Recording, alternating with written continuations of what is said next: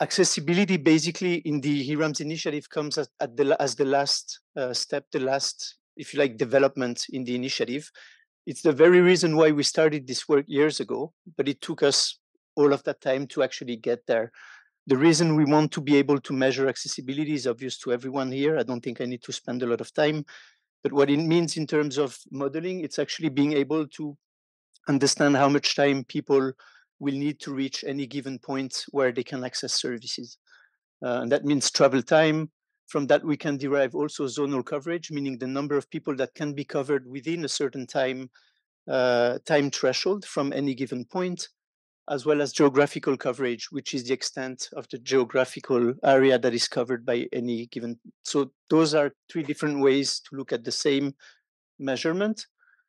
Those models also allow, allow us to start looking into referral times. We've not done that yet uh, in HeRAMS, but it's done uh, elsewhere. It implies network analysis. It's slightly more complex, but the same data is required really. So that's not something uh, particularly difficult to add. And the last element I wanted to mention here, which is, I think, a big part of what we're discussing today, it's obviously that kind of information is fundamental for resource allocation and essentially deciding where to deploy additional resources and being in a position to measure the impact that those deployments will have in terms of coverage. Which are the areas where people can't access, um, you know, oral uh, ORPs? That's that's going to be easier. I, I heard this morning through the discussion that the the recommended standard is less than an hour. So that's typically to be discussed this afternoon. So, but say whatever the threshold is, that's typically the kinds of measures we can make here and say, okay, those are the pockets of population that are beyond one hour or whatever threshold we, we choose from the first ORP uh, they can access. And similarly, if we're going to deploy whatever resources we have available 10, 15, 500, 1000 ORPs, where do we need to locate them so that the coverage is going to be maximal. And retrospectively, we can, of course, also measure the impact. So say we've not been able to do that upfront, we can always retrospectively go back and say we've deployed all of those resources, how, much more coverage have we gained, basically. Um, those models, they've been out for a long time, more than 15 years, that's for sure. I joined WHO 15 years ago, and I was asked to work on those. Uh, but they're really not widespread at all. And the reason behind that is not the models themselves, is the data we need to feed the models, basically, that is largely not available. So to run those kinds of analysis, we need details on the actual geography of the site, elevation, land cover, barriers to movement, like water bodies. Uh, and of course, we need to know the road network to be able to model the, the transportation and the movements of people we need to have a good idea of population distribution, fairly granular, as well as, a health-seeking behavior. How do people access services, uh, in essence? And the last layer on the top is we need to know where the services are located, if they're functional, what sort of where the structures or the points of delivery are, are located, if they're functional, what services they're provided. And together with this, all sorts of other elements, obviously, who is running them, who is in charge, uh, et cetera, et cetera. And so basically was really initiated back then to answer that one question, like to, or develop rather, if you like, the tools that were needed to build that top layer of information that was largely lacking. I won't go through the details here. You have the strategic framework. I think the important point here is the mission what we're trying to do through the initiative is support countries with the standardization and continuous collection, analysis, and dissemination of that information. So information on what is available and derived from that what is accessible. Standardized because there's a fairly high level of standard. This is not just about a piece of software. There's data standards and also standard processes that have been developed in terms of who needs to collect or report the data, how do we verify, and so on uh, but also data models. How do we characterize uh, what we call HSDUs, health service delivery units, because that intends to cover not only fixed structures, but also anything else mobile that may be deployed.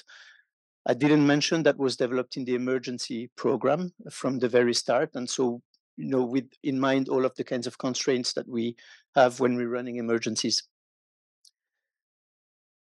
so over the years, and this is still work ongoing, obviously, we're still trying to reinforce, add new services, reinforce the one that exists. That's pretty much the, the package of services we've been working on. We have the norms and standards describing how this should be uh, managed. There's a platform because we're talking about a process where we're going to coordinate inputs from multiple, generally dozens, uh, if not hundreds of partners at the country level. So doing this without the appropriate tool obviously becomes extremely challenging continuous country support is planning, um, you know, budgeting, trainings, uh, all sorts of trainings that have been developed on this that we can provide uh, support. And then there's two elements around analytics, descriptive analytics and reporting, an example of which I gave you here. And the second one, which we only started about a year and a half ago through a collaboration with the University of Geneva, is the modeling and the accessibility modeling in particular. And that is attached also to the operational research. And then we have coordination and partnerships.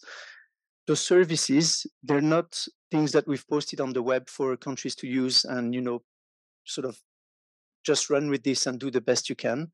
Part of the services are operated centrally when we thought that that was the best way to go about things. So the platform, for example, is a central service. Countries don't need to worry about installing things, hosting, maintaining, debugging everything. It's a joint platform that all the countries that are joining the initiative can use. Standards are also obviously developed and maintained centrally, but in constant discussions with the countries and they're constantly uh, adapted. Then the actual running coordination of the process, uh, everything happens at the country level. Everything is decentralized. So we have a support team, region and HQ level, and then really supporting that through a coordination mechanism at the at the country level. We've run an external evaluation. It's not extremely important, or just to say that it works across the phases of the emergencies. Uh, this is looking at fundamental functions of the health system, so it's not specific to response or preparedness. It's looking at where services are available, how functional the structures are, and that applies to any context really, and was demonstrated um, in that in that evaluation.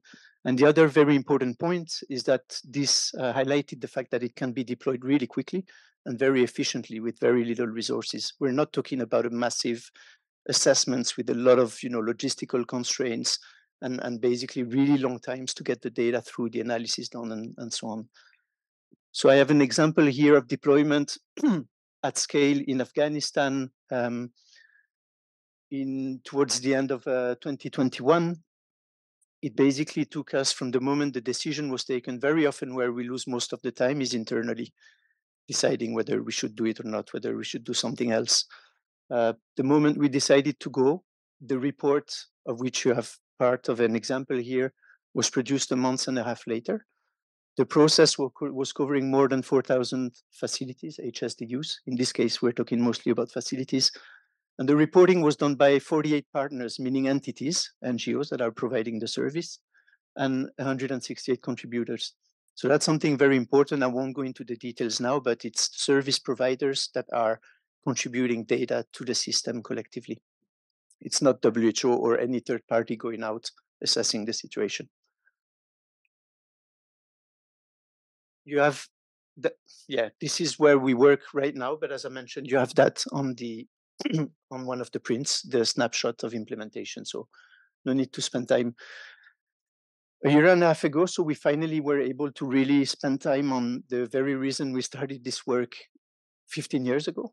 So now we have the tools and the experience, uh, you know, and, and all that we need to be able to generate this data in a lot of different contexts. We've deployed to Ukraine as well recently. Uh, so I think we've demonstrated we can get that layer of data that historically we were not able to get.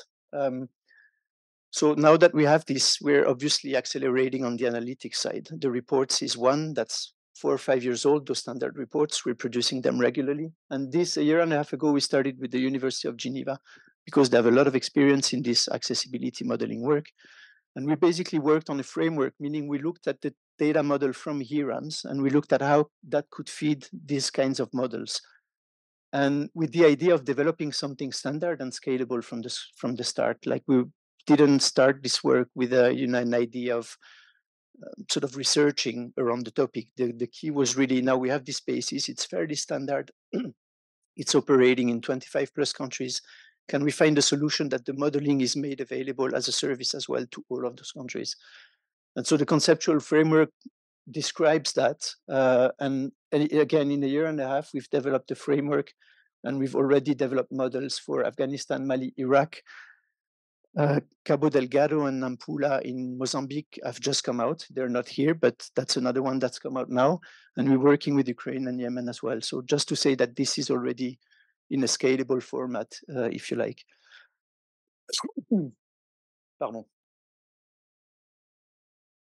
I've mentioned that that's the kinds of an, uh, analysis we get basically from the modeling. I won't go back to this, only to add that in addition to the physical access, which is a barrier basically that we're measuring in details through the modeling, there's also other barriers that are being measured through HeRAMS. Barriers in terms of uh, the supply side of services. So what is preventing suppliers from providing the services that are expected?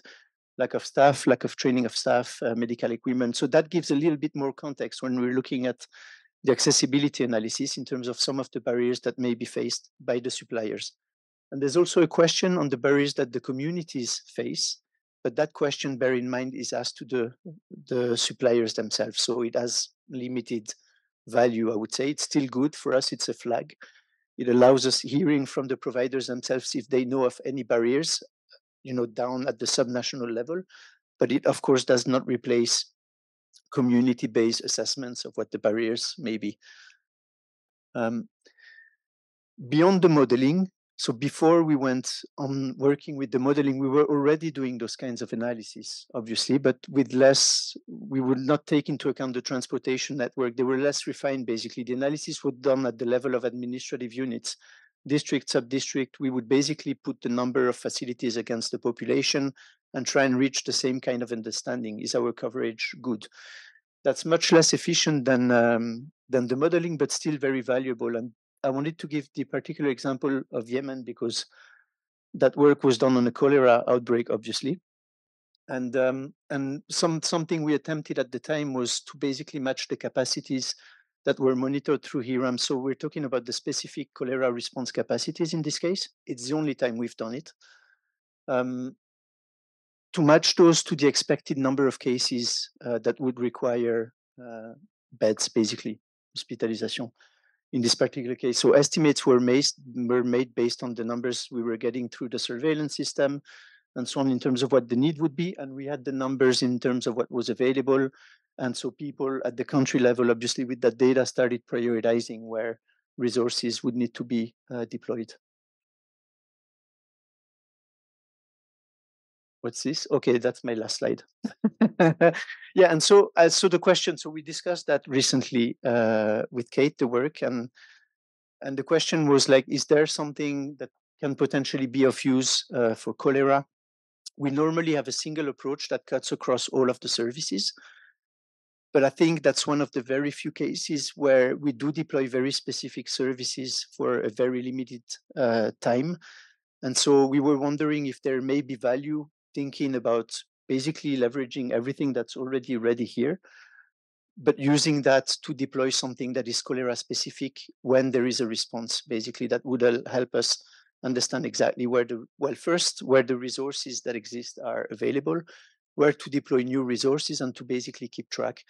I've seen in the presentation this morning, I think a lot of data on EPI and much less on capacity, but I think it's not just related to cholera. I think there's that distortion we have in a lot of different uh, contexts. And obviously, when looking at access, we need to also understand what the capacities are on the ground, where they're located, and what can be done to increase them. So that's the idea here. And, and yeah, a question to the group maybe if there's potential to start thinking about this and potentially developing something specific.